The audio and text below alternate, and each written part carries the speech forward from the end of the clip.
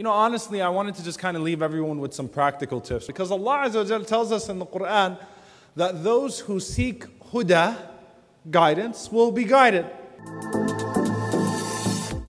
Assalamu alaikum wa rahmatullahi wa barakatuh. بسم الله الرحمن الرحيم الحمد لله رب العالمين والصلاة والسلام على رسوله الكريم وعلى آله وصحبه وسلم تسليما كثيرا uh, dear brothers and sisters, I'm going to try to, inshallah ta'ala, make it short. I'm not going to go longer than Maghrib, so I won't go more than 30 minutes, inshallah ta'ala. And, you know, honestly, I wanted to just kind of leave everyone with some practical tips because I know that one of the things that usually happens is when you go to a convention, when you go to a conference, wow, that talk was mind blowing. That was awesome. Did you hear what, what what Brother Nu'man said? Did you hear what this, what this speaker said? Did you hear what Brother Omar said? Did you hear what Brother Qasim said? What did you, did you hear that? Did you hear what Dr. Arif said? But at the end of the day, uh, we really don't make much change. There isn't really much practicality. Sometimes that's the fault of the speakers. Um, sometimes that's the fault of the listeners. Um, and here's the thing. I know that this topic has probably been regurgitated hundreds of times under the guise of different titles, different khutbas, how I can change now. But you know, Imam al-Ghazali rahimahullah, he said something very powerful because Allah Azza tells us in the Quran that those who seek huda, guidance, will be guided. Those who seek it will be guided. So essentially what Allah Azza tells us is that if you really want to change, then the first thing is that you have to want to, if you really want to change, then the first thing is that you have to recognize that there is something about you that needs to be changed looking at yourself, recognizing those things, as Brother Nu'man said, not blaming anyone else for anything, not looking at the world and, and, and suffering from analysis paralysis, you know, where we'll just sit around and complain and whine. And the same brother that's talking about how terrible everything is in, is in Gaza and how terrible everything is in Pakistan and Africa is the same one who won't do who won't put forth even an hour's worth of volunteering towards his masjid or towards any Islamic cause. But I want to really focus more on the individual. I think Brother Nu'man covered very well the idea of a society, you know, how we, how we can change as a community. But if a person is changed, then Allah subhanahu wa ta'ala, inshallah, through that person would change many things in the community. So it starts with each and every single one of us. Here's the thing if you want to change, Imam al Ghazali rahimahullah, he says something beautiful. He says, إذا المرء كانت له فكرة ففي كل شيء له عبرة when a person is really deeply involved in some sort of thought, when something is, is heavy on his mind, heavy on his heart, then everything around him will be a guide towards that thing. Let me put it to you this way. Uh, how many of you guys have met annoying newlyweds? Raise your hands. How many of you guys are annoying newlyweds? Nobody? No, I don't think so. I was about to call you out. Good call. None of you are annoying. You know the people that go around and all of a sudden you, you put like a thousand pictures on your Facebook the day after your wedding. And I'm like, shouldn't you be doing something else the day after your wedding? and uploading a thousand pictures and and it's like you've got these cute little shirts that point to each other and there's thing one and thing two and I'm hers and I'm his and all that kind of stuff. And it's like people really don't care that much about your life. But anyway, the, the thing is is that whenever you fall in love, or whenever a person gets engaged. Let me tell you what happens from a guy's perspective.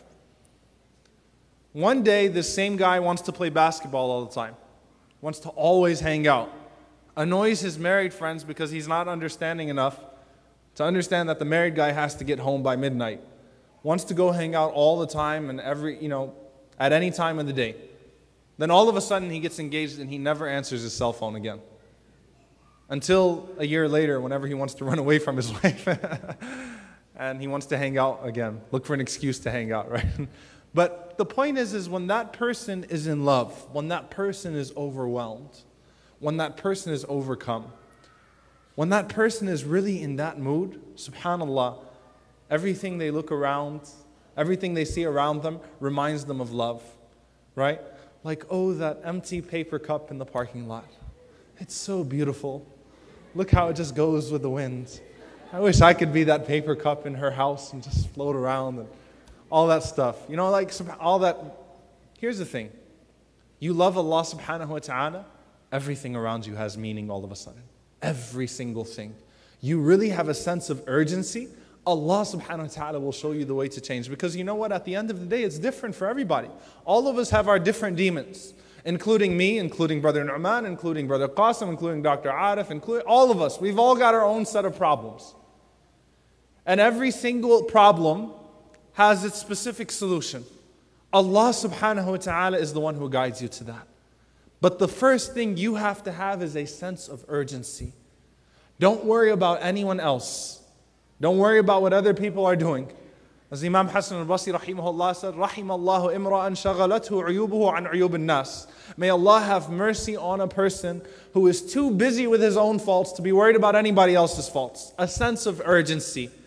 I've got to make my relationship right with Allah subhanahu wa ta'ala. I'm going to meet Allah subhanahu wa ta'ala maybe tomorrow.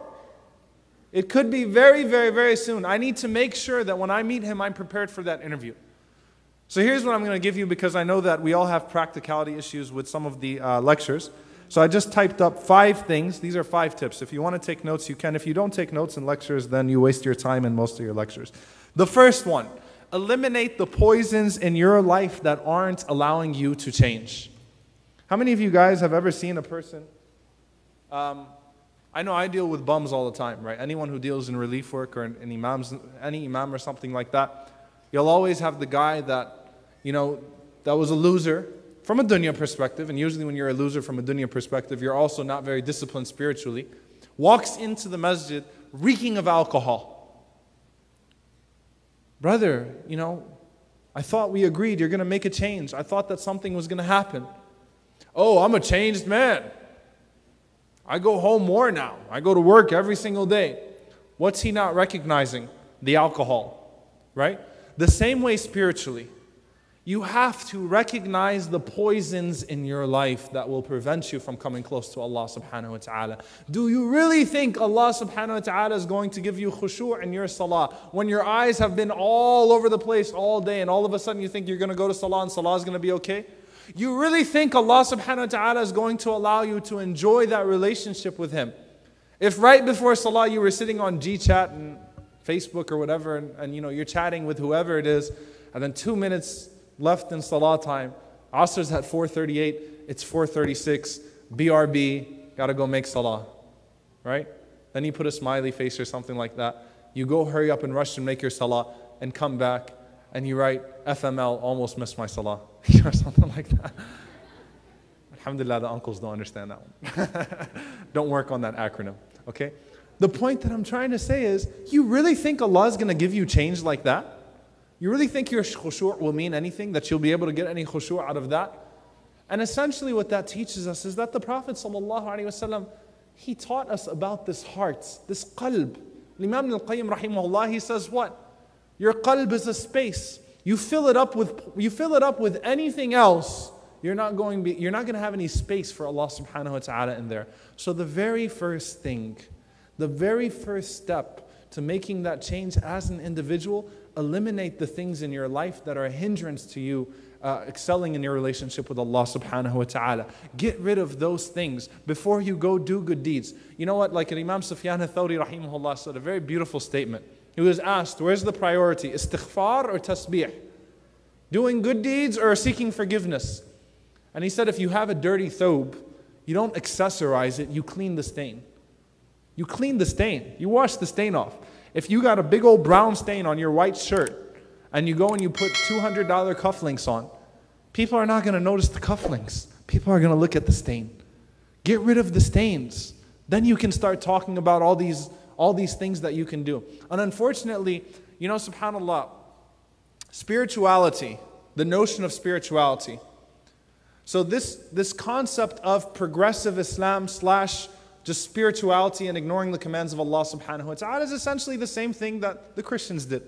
Essentially, what Paul proposed.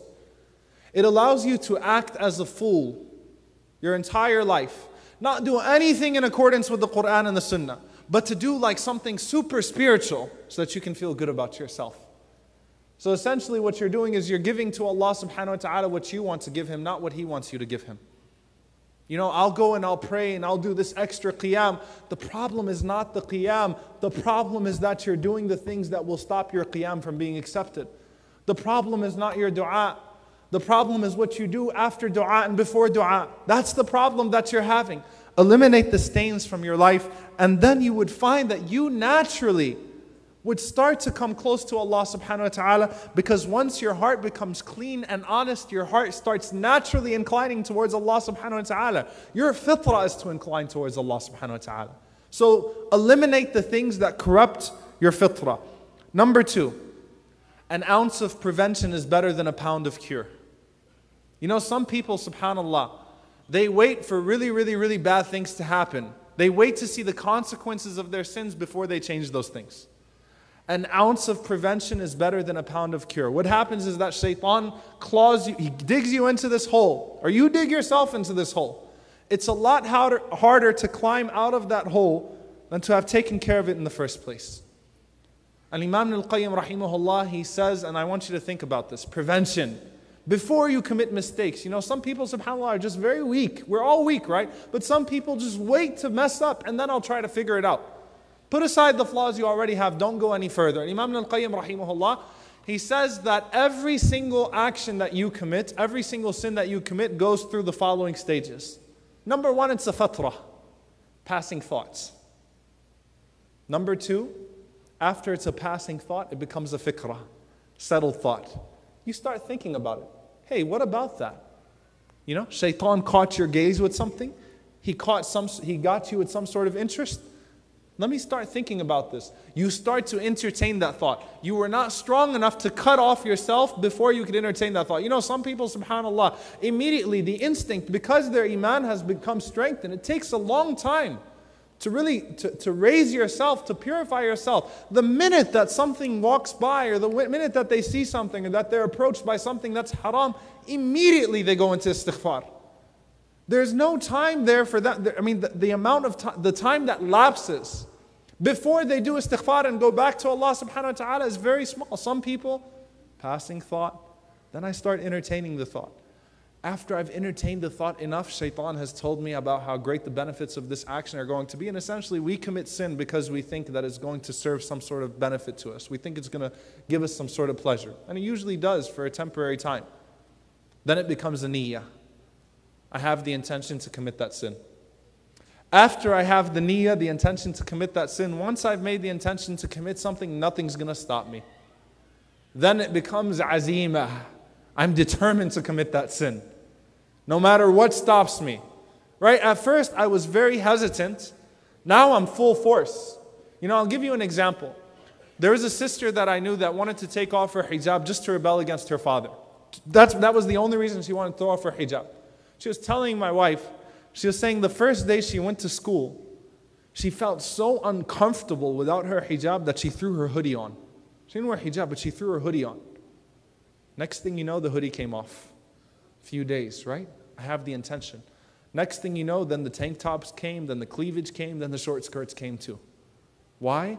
Because you start becoming determined then to commit that sin. Your heart became hardened to that. That sin has become humanized to you. Hey, this isn't so bad. You became an addict. And that's why once you have azima, it becomes amal. It surfaced, it became action.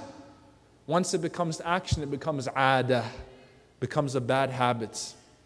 Once you have a systemized sin in your life, trust me, that will kill your dua, that will kill your salah, that will kill your, uh, your opportunity to get close to Allah subhanahu wa ta'ala. That's why from the dua that we, that we make, Allahumma naqina min al-dhunubi wal-khataya allati takbisu al-du'a wa naqina min al-dhunubi wal-khataya allati tanzilu al-bala' We ask Allah subhanahu wa ta'ala to purify us from the sins and from the mistakes that cause our du'as to be cut off and that caused the anger of Allah subhanahu wa ta'ala to descend upon us.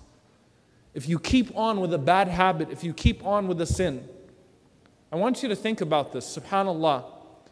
Rasulullah tells us that at one point you become defined by your sin. Just like at one point you become defined by your good deed. In Bukhari, the Prophet said that a person would tell the truth so much, he would be so truthful, حتى يكتب عند الله صديقا till he's written with Allah subhanahu wa ta'ala as a siddiq. Not that he told the truth one time. This is a truthful person. This is someone who's truthful in his faith. And then a person would lie so much, not that he told a lie here or there, until he's written with Allah subhanahu wa ta'ala as a kadhab. Your name with Allah is a liar. Subhanallah. You become defined by your traits, you become defined by your deeds. So, the second thing, dear brothers and sisters, again, is that an ounce of prevention is better than a pound of cure. Stop yourself before you fall into those situations. Number three, I just typed these up by the way, so I'm using my iPhone, I'm sorry. Number three, anyone ever heard of the acronym KISS? Nobody? Keep it simple, stupid. That's what it means. Now, because some brothers always get offended whenever I say that in khutbahs, I changed it to keep it simple, sunnah. Just to make it okay for everybody. Some brothers like, brother, you should have said keep it simple, smart. Don't insult your brothers. Okay, keep it simple, sunnah. We can all agree upon that. Rasulullah tells us that when a person goes to his grave, in Sunan Nasa'i, that he would, it's not that he's going to want to come back and he's going to want to establish khilafah. He's going to wish he would have a moment to come back and establish khilafah and liberate Palestine, those types of things. Or, you know, build a new masjid and those types of things. Yes, those are great things. I'm not saying those are bad things. But when you go to your grave, what are the things that you're praying for? What are the things that you miss? What do you really want? He would come back and wish he could just offer two rak'ahs. Just two more rak'ahs. So that Allah subhanahu wa ta'ala might forgive him with those two rak'ahs. Find something small in your life that you're capable of doing and stick with it. Eventually that will accumulate. Eventually that might be the cause of you entering into Jannah. Subhanallah, when a person finds something small that he can do, I can't change the situation in Palestine right now. I can at least try to change it right now in my own community. I can at least do something here. You know, subhanAllah, in most masajid, whenever there are the, the new board elections and the new committee elections and things of that sort, you have like 30 committees that are formed. Right? And brothers bring out their nice agendas. I don't know the politics of any of masajid here, by the way. None. So you can't accuse me of being, being involved in anything here. But usually what happens in every masjid, brothers bring out their long agendas. This is what we're going to do. This is what we're going to do. This is what we're going to do. Three months later, wait, I'm on a committee? you know? What are you talking about? I didn't know that. People completely forget what they committed to. That's why the Prophet ﷺ said, what is Aisha radiallahu anha narrated, that the most beloved actions to Allah subhanahu wa ta'ala, adwamuha and qalla. You know, the most consistent of them, even if they're very, very, very small. I'm to give you guys a story. Actually, do I have time? I have time to tell this story, inshallah. I'll give you guys this story. And Imam al-Jawzi, rahimahullah, he wrote a book about Imam Ahmad ibn Hanbal rahimahullah, Manaqib Ahmad, the, the virtues of Imam Ahmad rahimahullah ta'ala. Imam Ahmad rahimahullah at the time of, at, at, at the peak of his life, before the fitna started, even after the fitna started, was the most famous man in the Muslim ummah. Hands down. Fact, that Imam al-Dhahabi rahimahullah says this was the largest janazah that took place. In a matter of one day, he died and he was buried in the same day. You had 1.3 million people come and pray janazah on him. That's more than the Pope, more than Pope John Paul with all the, all the media and holding his body out. Imagine how popular and beloved he was. Imam Ahmad rahimahullah used to go around to his students' halaqas, used to go around seeking knowledge from other people, wrapping his face so people wouldn't notice him. Very humble person because he didn't want people to put him on a pedestal. One day he was traveling to Asham, to Syria what's what we would call Syria today, but of course it's Syria, Palestine, Lebanon, and Jordan, Asham. And he tells the story, and of course back then, you know, you don't, Imam Ahmad rahimahullah didn't have a Facebook page. you didn't know how he looked. He walks into a masjid to spend the night. And the haris, the guard of the masjid, tells him, get out. Masjid's closing. He said, but I have nowhere to go. I don't know where to go. He said, get out. Ukhruj. Get out. Masjid's closing. He didn't sit there and say, by the way, I'm Imam Ahmad. No, he didn't play that card. Just get out.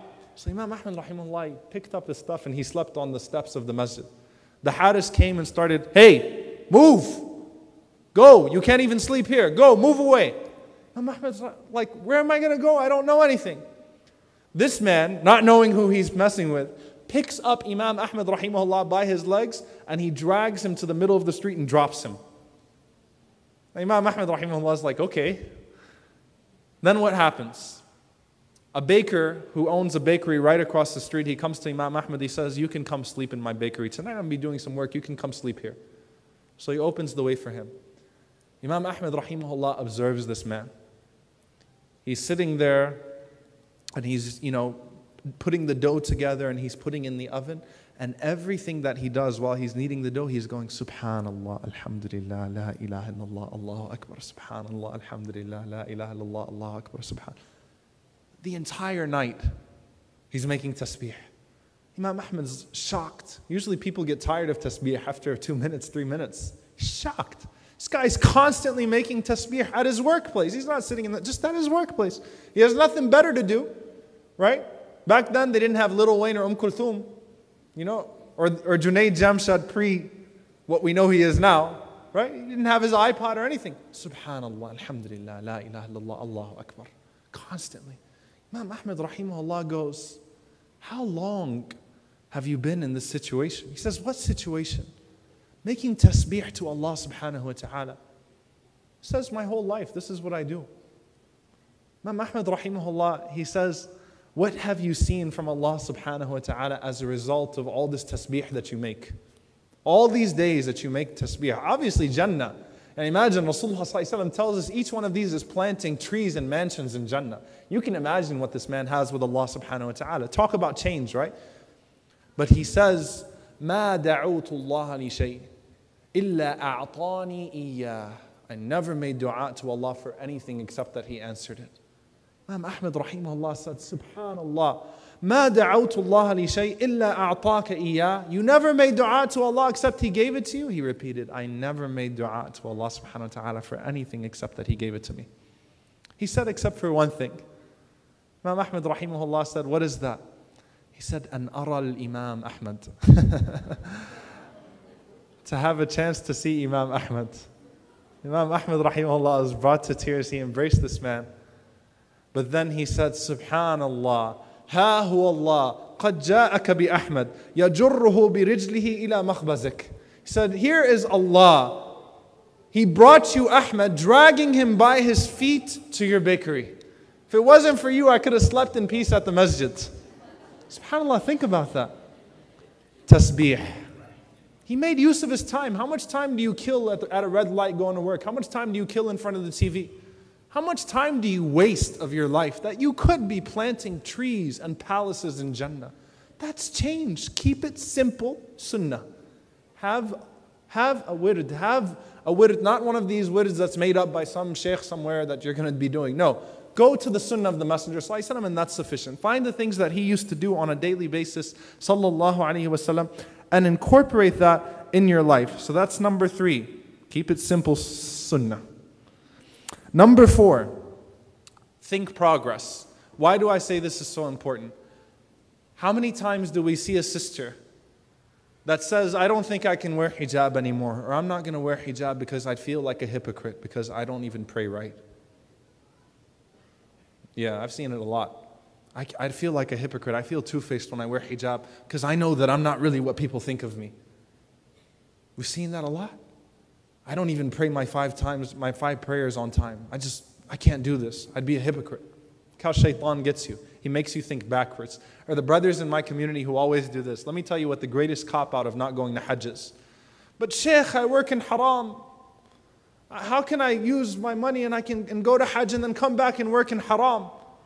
So instead of getting rid of haram, I'm just not going to go to Hajj. Convenient thinking. Instead of fixing my internal life, I'm just never going to wear hijab. Right? Or how many times have you heard this question? Is it halal to fast if you don't pray? Any of you heard that question before? A lot of times. A lot of times. I hear it all the time. And you know, some shuyukh that say, no, that person should fear Allah. He's not even a Muslim. He shouldn't be fasting. He should start praying first. These types of things. Why don't you start praying and add that so that your fast can become validated? SubhanAllah, think progress. Don't think backwards. Shaitan always pulls you this way. I didn't mean you, by the way. It just happened, the phone happened to be coming at the same time. Shaitan always pulls you this way, and Allah subhanahu wa ta'ala always calls you forward. Make progress. The most profound lecture I've ever heard in my life, Arabic or English, I was going through my old uh, tapes, cassette tapes, by the way, I don't, I don't listen to lectures in English anymore. Honestly, I can't. SubhanAllah, I love listening to lectures in Arabic. I just, that's my own personal inclination. There's one person who always does it for me, Imam Siraj Wahaj, hafidhullah. One lecture I found he did this khutbah in the 80s called Islam Means Progress. It was my cassette. I popped it in my car. Alhamdulillah, I don't drive a new car, so I still have a cassette player. Popped it in my car. Islam Means Progress. One of the greatest lectures I've ever heard in my life. If you can find it online, find it. I don't know if it's been transcribed or it's been put in an MP3. Islam means progress. Number four is to think forward. Number five, and this is my last thought, inshallah ta'ala, um, because I promised you I'd finish on time, and I've been trying to be good with that recently. Uh, one time, a convert, two years ago, um, he converted to Islam in the Emirat, actually, in the UAE, British convert. And subhanAllah, he was reflecting on the manners of the Muslims. And he said something very profound, and I saw it repeated on, on Facebook a few times and things of that sort. He said, On your way to becoming a good Muslim, don't become a crappy human being. SubhanAllah. becoming a more religious person should not make you a jerk. It should not make your character worse. It should not make you more condescending towards people. It should make you, make you more humble. It should make you more loving. It should make you more compassionate. It should make you more caring. Don't become a terrible person on your way to becoming a good Muslim. It starts off just as I was saying with your parents. You know, subhanAllah, Rasulullah tells us what? What's going to be judged on the day of judgment? Your khuluq. That's the heaviest thing. That's the heaviest thing. Your character. And when you have nasty manners, that is a reflection that on the inside you are actually devoid of iman. Because if we look at the woman who the Prophet mentioned, who prayed a lot of prayers, fasted her fast, did all the rituals, did all the good things. But she was abusive to her neighbor. Let me put, you, let me put this in perspective for you. And we shouldn't be judging other people. The Prophet ﷺ was making an example of this woman. We, it's not our job to do this, but let me, put, let me put this in perspective for you. You know, a person who is extremely religious and foremost and coming to the masjid all the time and doing all the halakas, if they have bad manners, if they have a bad attitude, the most you would say is you'd say that person might get called out on the day of judgment for their bad attitude. But, you know, alhamdulillah, they still do this, they still do that. And we're supposed to make excuses for other people. We're not, that's our job. We make excuses for other people, we just don't make excuses for ourselves. But the Prophet ﷺ said what about this woman? What did he say? Someone tell me. No one remembers this hadith? The woman who abused her neighbor? Who was abusive to her neighbors with her tongue. She didn't go beat them up, she just was abusive to her neighbors with her tongue. She prayed, she fasted, she did what she was supposed to do from a ritualistic standpoint. What did Rasulullah say about her? Brothers or sisters? She's in hellfire. He said something else too. Rasulullah said, La khayra fiha hiya fin nar. There is no good inside of her, she's in hellfire. Think about that. La khayra fiha. There is nothing inside of her that's good. Hiya finnar. All of that was, was superficial. What really counts is when your inner beauty changes. That will reflect with your outer beauty too. And that's why Rasulullah taught us when we look in the mirror, we say, Allah, we ask Allah for change every time we look in the mirror. When you change your clothes, you ask Allah for a different type of change. What do you say? Allahumma kama ahsanta khalqi, the way you beautified my appearance. You know, you gave me these clothes. You allowed me to change into this new pair of clothes. You created me, you know, with, with some form of symmetry. What do you say next? Ahsin khuluqi. Correct, beautify my inside. So we ask Allah subhanahu wa ta'ala to make us amongst those who experience real change who search for guidance and who are guided by His mercy. Allahumma ameen. جزاكم الله خيرا أقول قولي هذا واستغفر الله لكم والسلام عليكم ورحمة الله وبركاته.